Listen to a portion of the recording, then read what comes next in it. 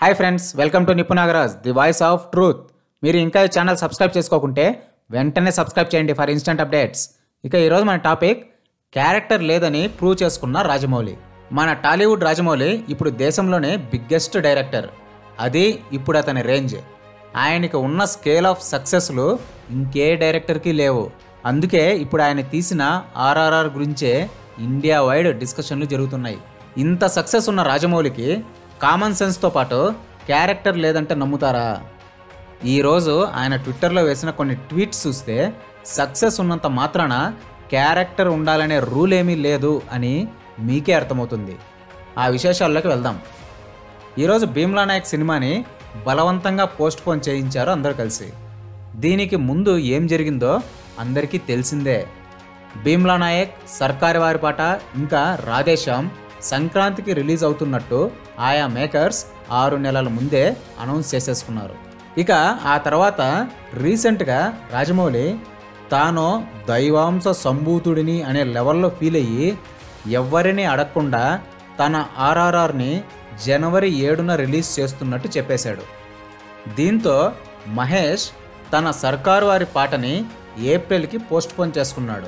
దానికి కారణం Rajamouli next cinema పదేళ్ళ నుంచి వెయిట్ చేస్తున్న మహేష్ బాబుతో సెట్ అయింది కాబట్టి రాజమౌళి దగ్గర మార్కులు కొట్టేయడానికి అడగకుండానే పోస్ట్ పోన్ చేసుకున్నాడన్నమాట మహేష్ బాబు. కానీ భీమ్లా నాయక్ ఇంకా రాధేశ్యామ్ మాత్రం పాత రిలీజ్ డేట్స్కే ఫిక్స్ అయ్యాయి. ఇక ఎన్నో ఇబ్బందులు పెట్టి భీమ్లా నాయక్ని కూడా పోస్ట్ పోన్ అయ్యేలా చేసేశారు. ఈ సందర్భంగా దైవాంశ సంభూతుడైన రాజమౌళి కొన్ని ఆనిముత్యాలైన ట్వీట్స్ వేసి ప్రపంచానికి ఏదో చెప్పాలని ట్రై చేశాడు. అదేంటో చూద్దాం. చూస్తున్నారు కదా?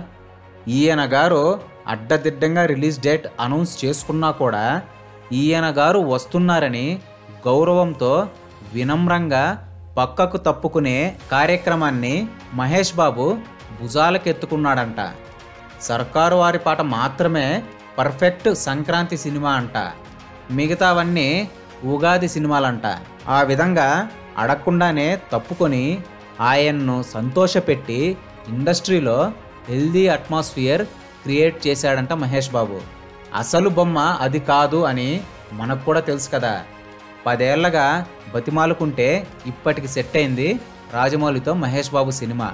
అది ఎక్కడ దొబ్బుతుందో అని మహేష్ బాబు అతి వినయం చూపించాడంతే. అది అతని వ్యక్తిగతం.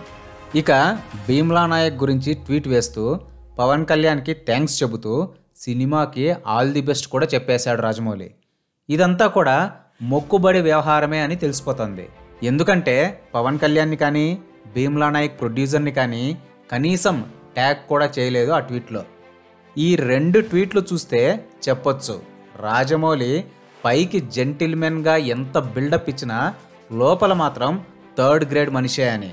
ఎందుకంటే ఎవరిని సంప్రదించకుండా అడ్డగోలుగా రిలీజ్ డేట్ అనౌన్స్ చేసినా కూడా అవతలి వాళ్ళు సైలెంట్గా తప్పుకుంటే ఇండస్ట్రీలో హెల్దీ అట్మాస్ఫియర్ క్రియేట్ చేసినట్టు. అలా కాకుండా రిలీజ్ చేస్తాం అంటే హెల్దీ అట్మాస్ఫియర్ని అవతలి వాళ్ళే పాడు చేసినట్టు అన్నమాట అసలు ఏంటి ఈ రాజమౌళి ఉద్దేశం? సక్సెస్లు ఉన్నంత మాత్రాన ఈయనేమైనా దిగొచ్చిన దైవాంశ సంభూతుడా? ఈయన వస్తున్నాడనగానే అందరూ పక్కకెళ్ళిపోయి ఈయనకు దండాలు పెట్టడానికి నిజంగా ఈయన తీసే సినిమా పాన్ ఇండియా లెవెల్ కాబట్టి దానికి లోకల్గా ఇబ్బంది ఉంటుంది అనుకుంటే పద్ధతిగా మాట్లాడి ఒప్పించుకోవాలి.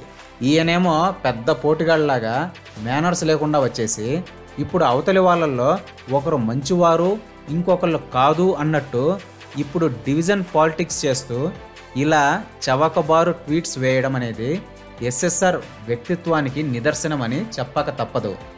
ఈ ఉదంతమనే కాదు గతంలో కూడా దివంగత హీరోయిన్ శ్రీదేవి గురించి కూడా చెప్తూ ఆమెను బాహుబలి కోసం సంప్రదిస్తే ఇంత రెమ్యూనరేషన్ అడిగింది పలానా హోటల్లో రెండు రూములు అడిగింది అని చెప్పి వెకిలి నవ్వులు నవ్వి తన లేఖితనాన్ని బయటపెట్టుకున్నాడు. ఒక సినిమా సెట్స్ మీదకు వెళ్ళేటప్పుడు ఎందరినో క్యాస్ట్ అండ్ క్రూతో సంప్రదింపులు జరుగుతాయి. వాళ్ళ డిమాండ్స్ అన్నీ ఓకే అనుకుంటేనే ముందుకు తీసుకెళ్తారు ఆ వ్యవహారాన్ని. అలాగని పర్సనల్గా జరిగే అన్ని సంభాషణలు ఎవ్వరూ పబ్లిక్గా చెప్పరు అని శ్రీదేవి సైతం ఒక ఇంటర్వ్యూలో చెప్పి తన హుందాతనం చాటుకుంటూనే కామన్ సెన్స్ కూడా లేకుండా వెకిలిగా చెప్పిన రాజమౌళి క్యారెక్టర్ని బహిర్గతం చేసేసింది. సో సక్సెస్ వేరు క్యారెక్టర్ వేరు. ఇదే ఫ్రెండ్స్ ఈరోజు టాపిక్. ఇలాంటి లేటెస్ట్ అండ్ ఇంట్రెస్టింగ్ టాపిక్స్ కోసం please subscribe to Nipunagaraj the voice of truth. And please like share and comment this video with your valuable opinions. See you again